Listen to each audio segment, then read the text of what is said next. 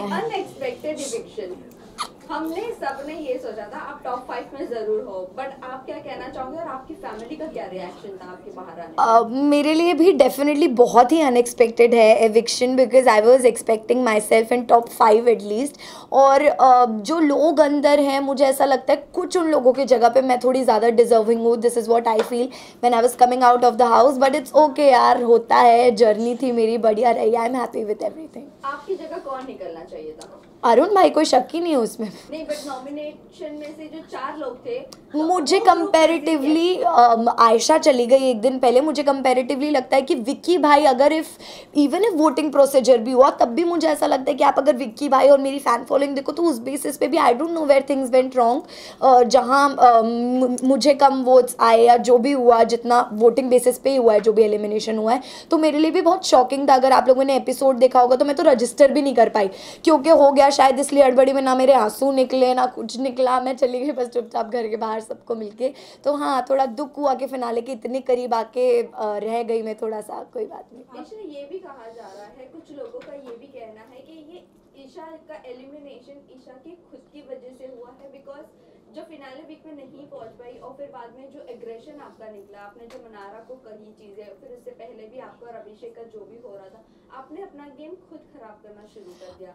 अ, मुझे ऐसा बिल्कुल भी नहीं लगता है बल्कि मुझे ऐसा लगता है कि दूसरों की गलतियाँ रजिस्टर की ही नहीं गई क्योंकि वो कहीं कोने खोपचे में छुप छुप के बोलते रहते थे और शायद मेरी आवाज़ इतनी लाउड और इतनी क्लियर है कि मैं कुछ भी किसी को बोलती थी या मैं कुछ बुरा बोलती हूँ या अच्छा बोलती हूँ तो वो बहुत ओपनली बाहर जाता था कि ओके अच्छा ईशा ये बोल रही है या वो बोल रही है। और मुझे कभी भी पूरे गेम में थ्रू आउट द शो अपने लिए बोलने के लिए कोई इंसान लगा नहीं है, क्योंकि मुझे हमेशा से ऐसा लगा है कि मैं खुद इनफ हूँ अकेली अपने लिए बात करने के लिए, कोई भी पॉइंट ऑफ़ व्यू है या कोई भी मैटर है और जो रही पिछले वीक की बात, जो भी मनारा और मेरी चीज़ हुई तो इन द होल शो किसी भी चीज़ की पहल मेरी तरफ़ से नहीं हुई है। मैंने कोई भी चीज़ पहले नहीं की है अपनी तरफ़ से खुद को विक्टिम दिखाने के लिए। मेरे ऊपर जब चीज़ें आई तो मेरे सिर्फ़ जवाब निकले और शायद जवाब दूसरों के लिए इतने हर्टफुल थे कि उनका एक सिंपति कार्ड अचानक से शुरू हो गया कि अरे बाप रे, ईशा ने क्या ही बोल दिया।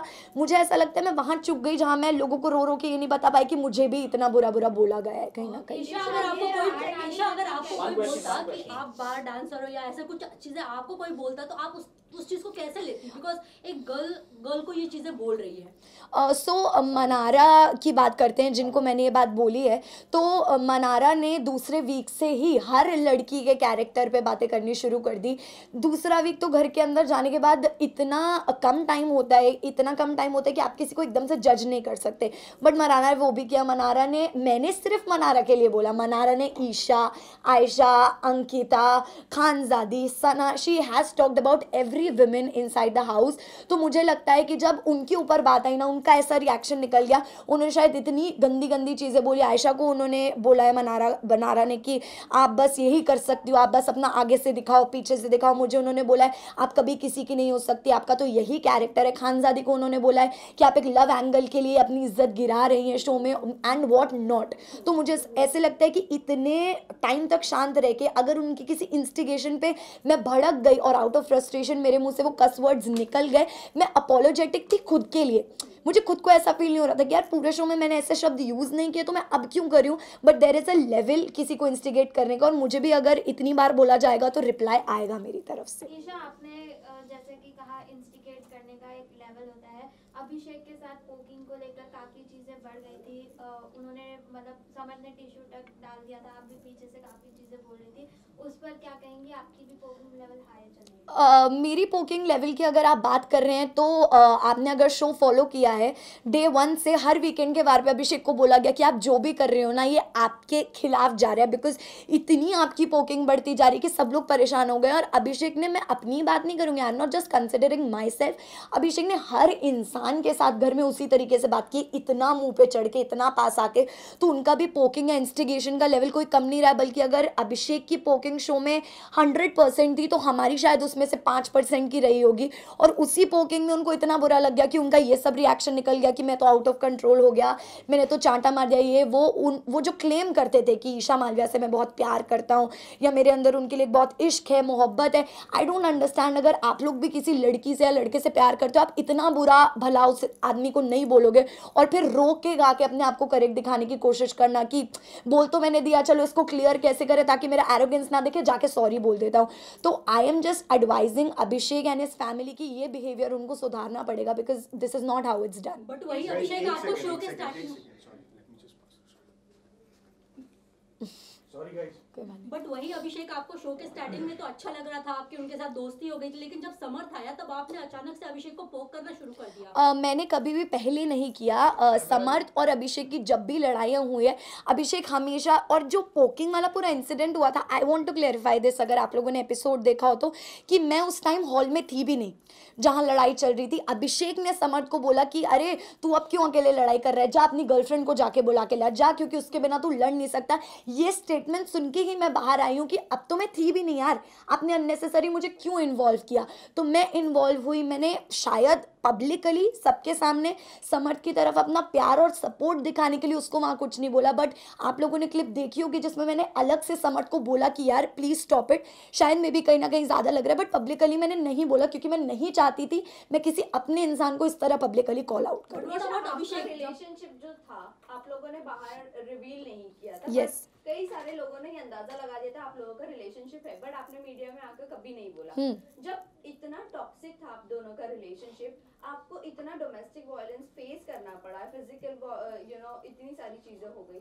तब आपने आवाज़ क्यों उठाई? क्या आप बिग बॉस का प्लेटफॉर्म इसीलिए चूज़ किए थे कि आप उसको एक्सपोज करोगे? अ, बिल्कुल भी नहीं क्योंकि मुझे uh, काफ़ी टाइम तक तो पहली बात पता ही नहीं था कि अभिषेक फाइनलाइज्ड है शो में आने के लिए। मेरा काफ़ी पहले ही फाइनल हो चुका था शो में आना। And talking about that physical violence thing अगर आप आगे कभी अभिषेक को इंटरव्यू करते हैं या आप अंदर मीडिया कॉन्फ्रेंस राउंड भी करके आए होंगे तो अभिषेक ने शायद मुझे लगता है कि चीज़ उसको एक्सेप्ट करनी चाहिए कि कितनी बार मेरी तरफ़ से उसे अनकाउंटेबल अनगिनत चांसेस मिले हैं कि यार जो भी हो रहा है कोई बात नहीं ठीक है। मैं अभी दुनिया के लिए कितनी भी स्ट्रॉन्ग लड़की हूँ मैंने कितना ही कुछ फेस कर लिया लेकिन जब आप एक रिश्ते में होते हो आप किसी से प्यार करते हो तो आप उस इंसान की सौ गलतियाँ माफ़ भी करते हो और मैंने भी वही किया और वही मुझे ऐसा लगता है कि इस प्लेटफॉर्म पे आके मुझसे एक बहुत बड़ी बेवकूफ़ी हुई कि मैंने उस चीज़ को तभी उसी टाइम कॉल आउट नहीं किया। So I am feeling like a fool कि मैंने तब नहीं बोला। ईशा आप जो है कहीं ना कहीं अभिषेक को टॉक्सिक कह रही है लेकिन समर्थ भी वही चीज़ें आपसे आपके साथ घर में कर रहा था आप पे कॉफ़ी फेंकना आपको बोलना दूर हट जाओ मुझसे मेरे पास मत आ।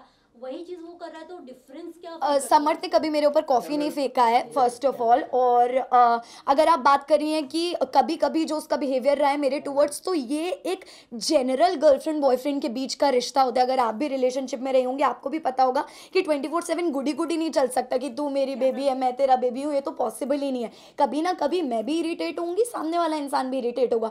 पर वो कभी कभी हो और एक हद तक वो तो सही लगता है। मुझे कभी समर्थ की इरीटेशन अपने लिए बुरी नहीं लगी है। क्योंकि मुझे पता है ये कैसे भी करके मतलब मेरे काम से मुझे अलग नहीं करेगा। लेकिन जब चीज़ें रिलेशनशिप काम को इफ़ेक्ट करने लग जाए करियर को इफ़ेक्ट करने लग जाए देन इट बिकम्स टॉक्सिक जब से समत जब जब- समत एंटर किए तो समत और अभिषेक ने आप आप आपका काफ़ी मज़ाक मनाया है कि मैं डेट करूँगा कि नहीं ये करूँगा। फ्यूचर को लेके अगर आप वो वीडियो देखे लुक वेरी दोनों ने टॉक्सिक किया है आप, Like आपकी कैरेक्टर असैसिनेशन लग रहा था समर्थ ने किया समर्थ ने और अभिषेक दोनों बात करते थे पूल में।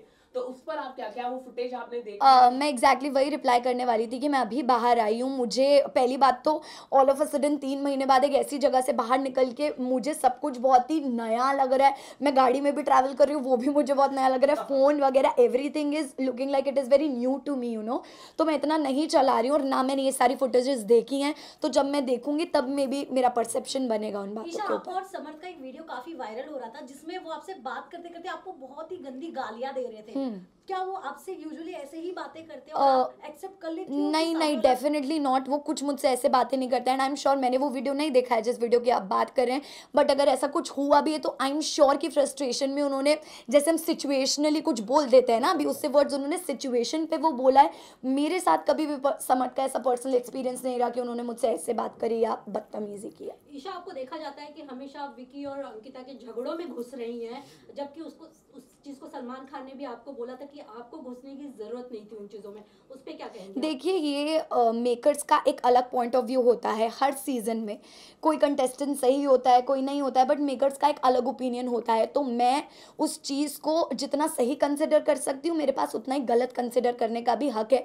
तो ये जो एक वर्ड यूज़ हो रहा है कि आप बीच में घुस जाती हैं तो ये मैंने कभी यूज़ नहीं किया। जब अंकिता जी मेरी और समर्थ की फाइट सॉल्व कराने की कोशिश करती थी। या जब मेरी और समर्थ के बीच में प्रॉब्लम होती थी Ankita ji was always there to you know solve the situation कि यार चल और ना बड़े बात। तो मैं उनके लिए भी वर्ड यूज़ कर सकती थी कि आप क्यों घुस रहे हो? पर मैंने कभी नहीं किया क्योंकि मुझे इंसान के इंटेंशंस पता है।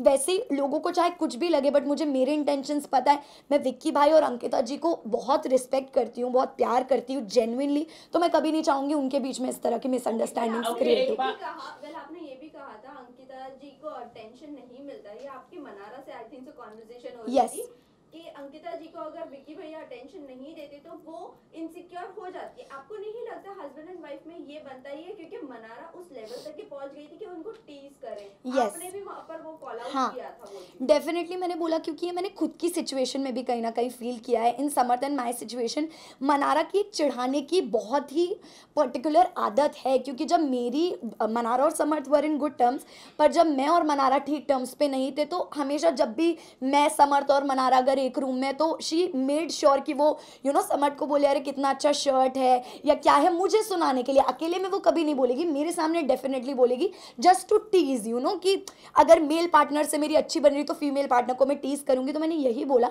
कि अंकिता जी का जो रिएक्शन है, या जो इमोशन है, वो गलत है ही नहीं कहीं से कहीं तक। एक लड़की का अगर अटेंशन डिवाइड होगा तो उसको बुरा फील होगा which is very natural Isha Okay, जब एक आयशा घर में आई थी मनारा को आप और समर्थ बेबी सिटिंग दे रहे थे जब जब मुनव्वर उनके साथ नहीं थे। हम्म। और फिर जब आपने उनको कॉल आउट फाइनल वीक में जब आपने उनके अगेंस्ट कहना शुरू की चीज़ें तो बाहर उनकी फैमिली आपको बोल रहे थे कि गटर माउथ गटर ये वो। आपको नहीं आप आप इसके ऊपर क्या यू नो कहना चाहते हैं सी जो मेरी